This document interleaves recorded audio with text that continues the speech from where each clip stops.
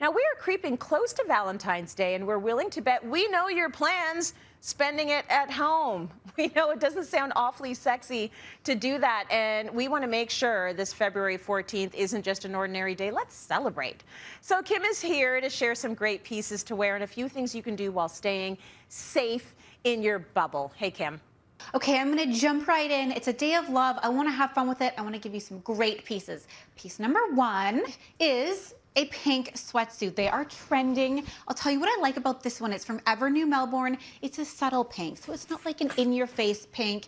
It has some great button details. It's a really nice, thick, comfortable fit. I love it.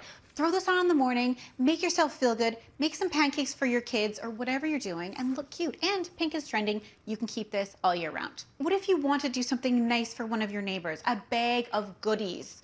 So I found this bag from a company called Bag and Bougie. And this one you can actually get monogrammed. It takes about a week. So you need to do that ahead of time.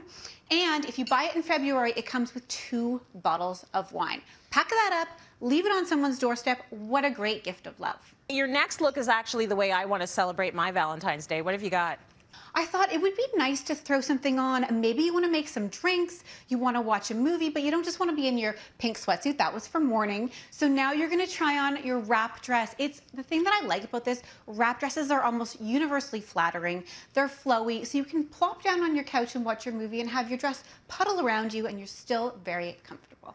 Very nice so far. Okay, so I see that we've stayed away from anything too sexy. Are we going to spice it up a little bit for your next look? If you want to add a little spice to the night, I didn't want to like bring on anything overly sexy, mostly because I didn't actually want to model it for you. But this glamour gown is one of my favorites. This is from Christine Lingerie. It is so soft. The quality is there.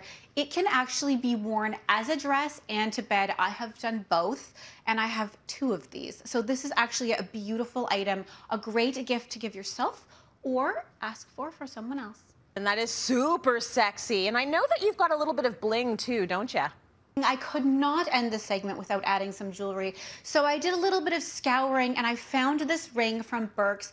It is so beautiful. This is called the Dare to Dream ring.